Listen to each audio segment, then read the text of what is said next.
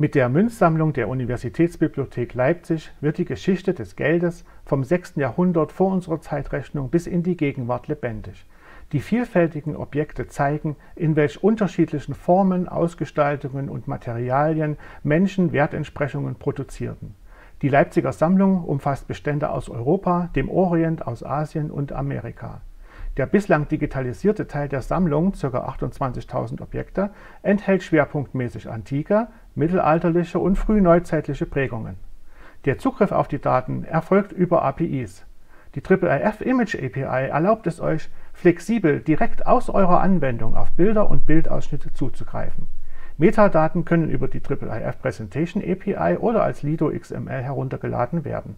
Alle Daten der Sammlung sind unter der CC0-Lizenz verfügbar wir würden uns freuen, euch die historische Sammlung und die technischen Zugänge später genauer vorstellen zu dürfen